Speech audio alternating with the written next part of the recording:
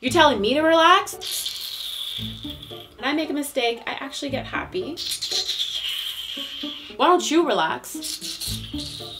Number don't know what my hand was showing. I treat my mistakes like gold. Hi everyone, Stephy here. Welcome back to my channel. If you've watched my videos before, then you guys already know that I make everything fashion. But in today's video, I wanted to break the ice and do something a little bit different. So you've clicked on this video probably because you are looking for some tips on how to improve your YouTube videos. Before I get started, I wanted to let you guys know that I'm not an expert. But I must say that I do spend an uncomfortable amount of time on YouTube and on studying it. Let's just say that this video is also a little bit of an experiment for my future self. This video is for someone that is just starting out, that has been thinking about doing video, but that doesn't necessarily know where to start. That being said, here are some tips that I put together that will help you gradually improve your YouTube videos. I have some notes so you guys can actually see my progress. No, no, no. I'm gonna show you guys my screw ups.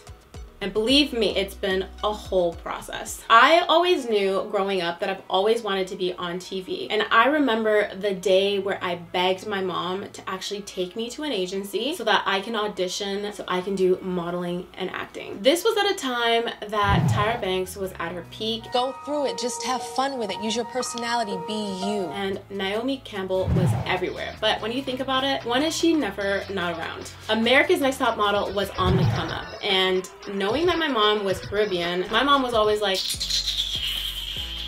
school first. Find yourself a corner to sit down because modeling ain't it. If it doesn't bring you money, honey, it's just not gonna fly by me. If you're Caribbean, you know what I mean. So literally, I went to university and fast forward to today and here I am making videos. Now let's get into the tips. Tip number one, get your comfort game up. This one is all about trying to get as comfortable as you can with the camera. Just like that, right? Wrong. Telling you to get comfortable in front of the camera is pretty much like telling you to relax during an argument. You know you're right, you know you got all your points down to a T, yet this person is telling you to relax? You're telling me to relax? Why don't you relax? No, I'm fine. Now, this is coming from experience, but it's not much different from getting your game face on for you competitive players out there. Getting into the zone, well, for everyone else, I guess. Focus on what you are doing because the zone is that little area of zen in your mind where you can actually put all your energy into what you're actually saying. It is the most awkward thing talking to a device that doesn't talk back. I get it. But trust that you will learn over time. Worst case scenario, you will get comfortable talking to yourself. Number two, learn to let go. All you A-type perfectionists out there, put your hands up.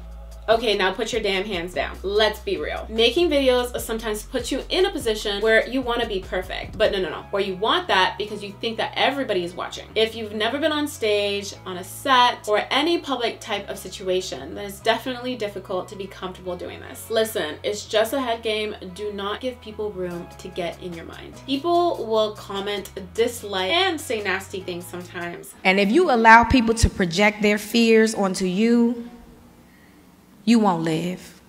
But I'm not perfect. No one's perfect. You do you, boo. If you believe in what you are doing, keep going. Number three, accept and embrace your mistakes. You gotta find a way to embrace yourself because if you don't, you're gonna be too hard on yourself and there's gonna be tons of content that you just are not able to see for yourself. Before, a mistake on camera would make me super upset. I make grammatical errors. I say things backwards sometimes. Filming can take hours only because I would redo a mistake over and over again until until I get it right or just completely edit it out. Today, I can proudly say that when I make a mistake, I actually get happy. I find a creative way to add them to my videos, to capture you guys' attention, and to be creative. I treat my mistakes like gold. For an example, I add them to my video intros. So I would say just look within the details, even your mistakes, learn from them. It's a type of therapy. Tip number four, be yourself and do not be apologetic for it. A common mistake that I've always made, even in my acting school days. I always apologize for every little thing. I always think that I'm in everyone's way. And my agent would constantly remind me, stop apologizing for every little thing that you're doing because you're being yourself. I feel like a part of me was doing that too because I was working so hard on making my personality shine. And sometimes it is so hard to make your personality shine on camera. And that's only because you are self-aware of everything that's going on around you. If you have a million eyes on you, you're gonna think is my hair sticking up? Is my shirt on crooked? Do I look okay? Do I sound okay? A whole bunch of things are gonna go through your mind. And if you really think about it, with that problem being around, there's not much room for you to let loose. So therefore, for your personality to shine. I know that you guys may not see it, but when I watch my footage back and I'm like, what was I talking about? Why did I not just let loose and say what was on my mind? For an example, watch this. I like, I feel like I was totally holding back in this clip. We are welcoming a new year and welcoming a new year. Hello everyone, it's Stephy. Welcome back to my channel. I coming on a new year, welcoming a new Hello everyone, it's am because I really don't know how we're gonna do this. I can give you guys a little preview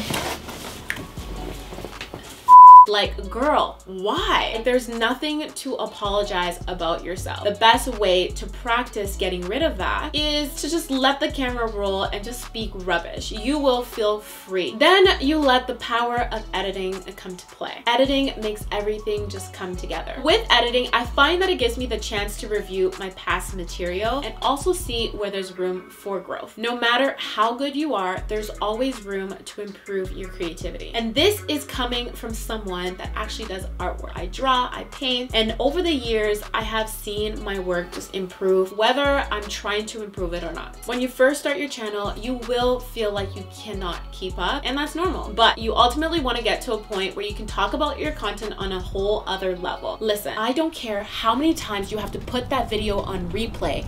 Let that camera roll, and you just gotta do it. Just do it! Let's calm down now, staff. Tip number five, take your time. Yes, the more content that you put out there, the better it is for your channel. It can drive in more traffic, ultimately help your channel grow, but I believe in quality versus quantity. If you listen to any expert about any social media platform, they will tell you that they want quality, relevant, and consistent content, but you need to take your time. You might want it all, and even for things to blow up, this is a marathon. After giving you guys these five tips, how do you feel? Please let me know if you have any questions in the comment down below. By the way, we are just getting started. There's a part two of this video coming up. I hope that this video was helpful to you. Don't forget to like and also subscribe to my channel for more content. Hope that you stay tuned for part two. Thanks for watching. Bye.